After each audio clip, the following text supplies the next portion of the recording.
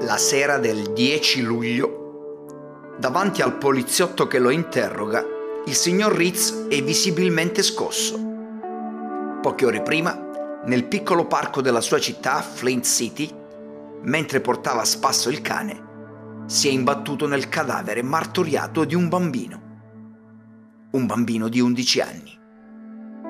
A Flint City ci si conosce tutti e certe cose sono semplicemente impensabili.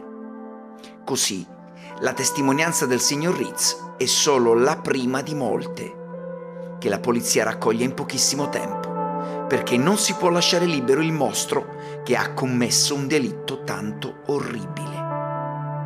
E le indagini scivolano rapidamente verso un uomo e uno solo, Terry Maitland. Testimoni oculari, impronte digitali, gruppo sanguigno, persino il DNA puntano su Terry, il più insospettabile dei cittadini, il gentile professore di inglese, allenatore di baseball dei pulcini, marito e padre esemplare. Ma proprio per questo il detective Ralph Anderson decide di sottoporlo alla gogna pubblica. Il suo arresto spettacolare allo stadio durante la partita e davanti a tutti fa notizia e il caso sembra risolto.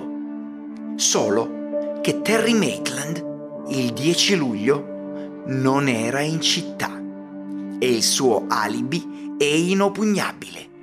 Testimoni oculari, impronte, tutto dimostra che il brav'uomo non può essere l'assassino. Per stabilire quale versione della storia sia quella vera, non può bastare la ragione, perché il male ha molte facce e King le conosce tutte.